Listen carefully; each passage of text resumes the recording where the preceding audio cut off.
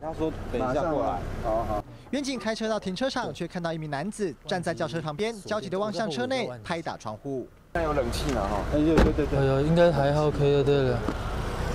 有冷气，还有不会太热，应该是 OK 了。打开手电筒一照，这才发现有名两岁男童坐在车内。虽然有开空调，但因为车门反锁，就怕小男童待太久受不了，赶紧打电话通知锁匠前来开锁。有了，开开开。哦，好，先先开一下。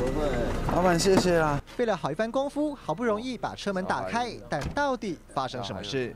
我想说先锁起来，要去拔钥匙，然后出来之后才发现啊，糟糕，我忘记我把前面的也早就锁起来了。原来新竹这名糊涂老爸趁着清明连假要带小孩到海边钓螃蟹，结果在停车场要下车上厕所时忘了拔钥匙，门一关车子自动锁上，加上这个地点非常偏僻昏暗，吓得老爸赶紧报警救人，安抚这个父亲的情绪，然后再协助通知锁匠到场来开门。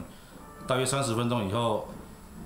就把车门打开，幸好热心远警帮忙，让关在车内的男童顺利脱困。而这名糊涂老爸也频频的向警方和锁匠道谢，让这场意外惊魂最后是欢喜收场。记者何梦倩、廖玉志新主报道。